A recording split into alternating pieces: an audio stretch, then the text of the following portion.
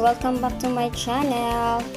Ayan guys, so magluluto po tayo ngayon ng adobong paa ng manok or adidas. Ayan po sa. So ayan, so ito po ang ating mga ingredients. Yung paa ng manok. At ganyan, hinugasan ko yan. Baw, uh, sibuyas. Bawang, handa, pamintang buo, dahon ng laurel, at saka asin, sukal, oyster sauce, dalawang at toyo, dalawang kutsara, at suka, and mantika. So, ayan guys, let's start. So, magluluto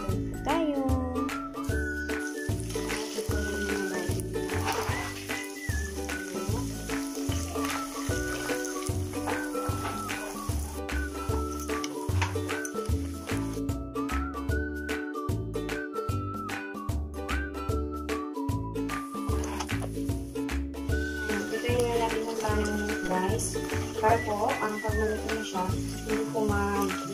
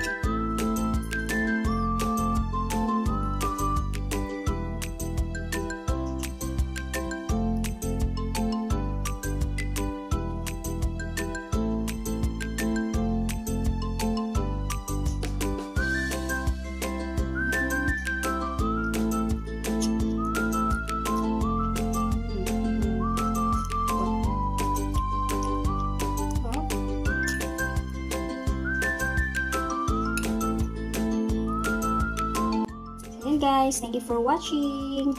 Ayan, sana nabusog po kayo sa aking adobong adidas or adobong paa ng manok. Ayan.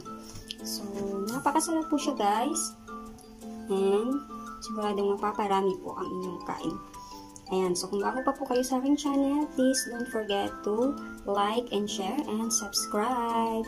Ayan, so thank you, thank you guys. And don't forget to comment lang po kayo sa baba kung meron po kayong mga katanungan. Ayan. So, thank you, thank you guys. Bye-bye.